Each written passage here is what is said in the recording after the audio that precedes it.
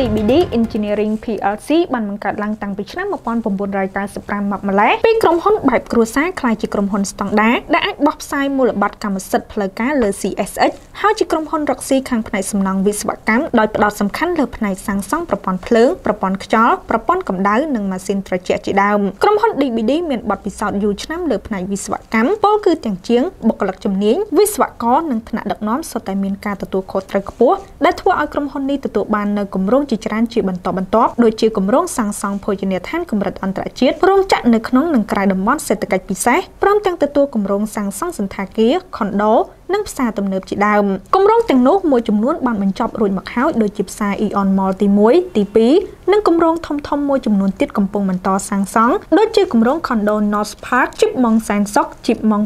598 Mall និងជីបម៉ង Mega Mall 271 DBD Engineering PLC បានដាក់លក់មូលបត្រកម្មសិទ្ធិរបស់ខ្លួនក្នុងទីផ្សារមូលបត្រកម្មសិទ្ធិកម្ពុជាជាផ្លូវការហើយក្នុងតម្លៃ